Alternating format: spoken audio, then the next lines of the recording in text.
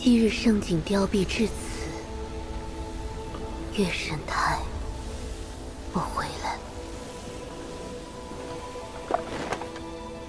月神台荒废成这样，还能完成帝君大人回归的仪式吗？有云中蝶的力量在，这并非难事。仪式的关键，还是那五位神之烙印的宿主。这神之烙印看不见摸不着。究竟是什么？帝君大人从未陨落，只是遁入虚空。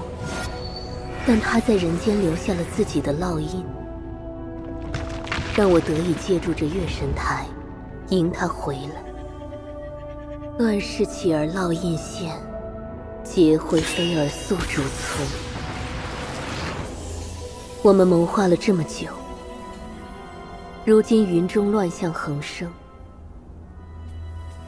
绝境压迫之下，五位神之烙印宿主都已逐一觉醒。一千多年了，帝君大人，他们终于一起现世。魏延，我许你的一个心愿仍旧有效，你想好了再说。我的心愿从来没变过。凡人真是不可理喻。帝君大人，您就要回家。